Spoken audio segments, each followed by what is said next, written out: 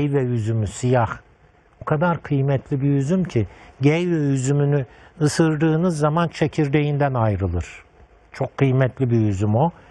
Kanser hastaları da e, mesela kemoterapi ve radyoterapi alan kanser hastalarında panzitopeni görülür. Ne demektir panzitopeni? Lokosit düşüyor, hemoglobin düşüyor, trombozitler yani plateletler düşüyor.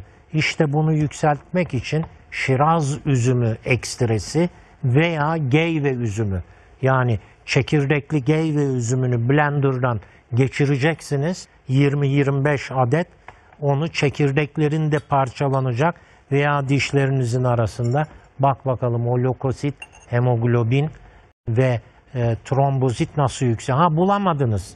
Taze olacak bu tabi. Ha bulamıyorsanız o zaman ne yapacaksınız? E, panzitopeniye karşı lokosit, hemoglobin ve trombozit şeyine karşı bulunmaz bir nimet. Kereviz ıspanak kürü. Lütfen internet sistemde yazılı kerevizle ıspanağı beraber kullanıyorsunuz. Önce kereviz kaynayacak sonra ıspanak evelallah için o panzitopeni şikayeti nasıl ortadan kalkıyor göreceksiniz.